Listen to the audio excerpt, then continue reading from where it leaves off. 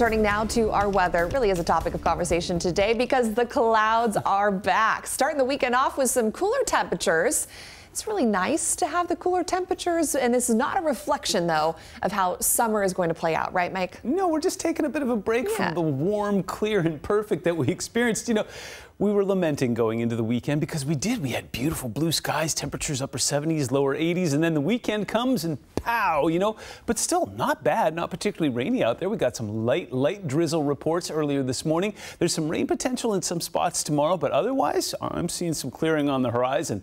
The other thing, too, it's not particularly cool out there. 71 degrees right now. Yes, that is a few degrees below average. 77, 78 is the average for this time of year. But with a light breeze coming out of the west, 5 to 10 miles an hour, and everything else in check, it's a great weekend to get out there. Take a look at this. This is Westport, and as we turn the camera, Sunshine. Yeah, we're taking a look into the future here. In fact, that weakening frontal boundary that moved through overnight last night really lost its mojo. It's starting to break apart over top of the Pacific there, and it's allowing some sunshine through, and that will make its way farther east tomorrow. In fact, as we take a look at the big picture here, a couple things going on. Still tracking some widespread monsoonal flow over top of the south and west. This is great news. It's not particularly comfortable there because it's over 100 degrees in many spots, and then you add humidity to it. I'd much rather be here, but it is is acting as a natural form of fire suppression, and we are perfectly okay with that. As we zoom into the Pacific Northwest here, again, the system that moved onshore here just really didn't have a whole lot going for it. So just a little bit more onshore flow that doesn't really have a lot of moisture embedded into it. So we'll see some mid and upper level cloud cover push through,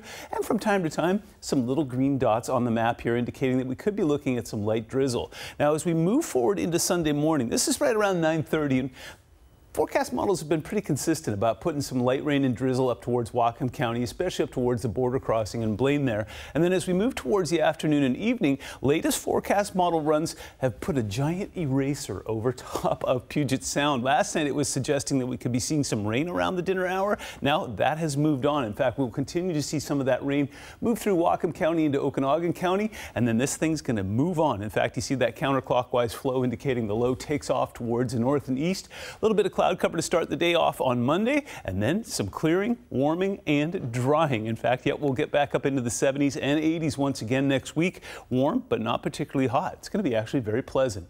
Overnight lows tonight will be pleasant. We'll keep it in the mid 50s for the most part. We'll see some lower 50s at the bookends in Chehalis and up towards Friday Harbor as well. Some mid 50s along the coast, and we'll do that in Arlington too.